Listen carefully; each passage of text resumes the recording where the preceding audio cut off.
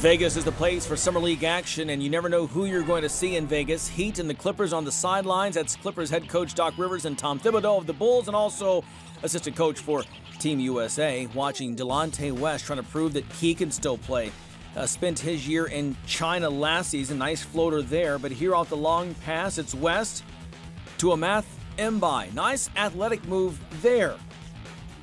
Nice tip from West as well. Clippers up by four. Off the air ball, Larry Drew to Tyler Honeycutt for the half court alley oop.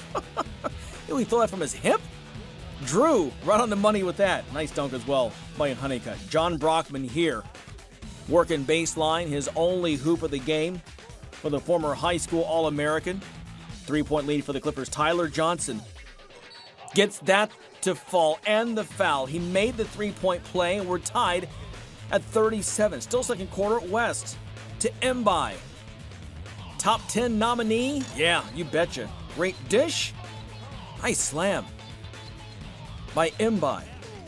47 45, the Clippers up by two at the half. Third quarter, Shabazz Napier. Well, it's been an up and down summer for him shooting wise, really struggling again from the field. Two of eight from the floor, just one assist, two turnovers for the rookie from UConn. Jon Brockman here to DeAndre Liggins for the three in the corner. Clippers building a six point lead. LA later going on the break. Lorenzo Brown to M'Baye. He had a game high 27 points and no shortage of high flying highlights. West with the turnover. Here comes Miami. Drew to Honeycutt. That caps a 17 0 run by the Heat. Miami up by four. West then on the drive. And the reverse. Sweet play. 12 points, 8 rebounds, 5 assists for Delonte West. Under th- three minutes to go. Shabazz Napier hits the three. That's a 6 2 Miami run. Heat up by one. Lorenzo Brown. Jumper.